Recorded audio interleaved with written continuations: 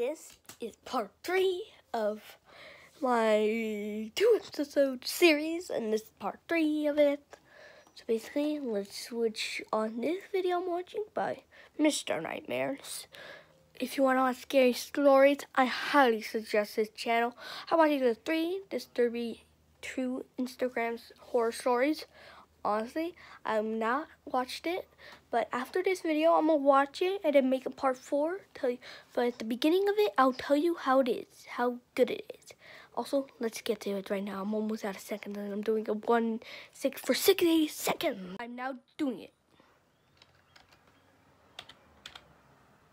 I'm gonna show it from my front camera since it's better.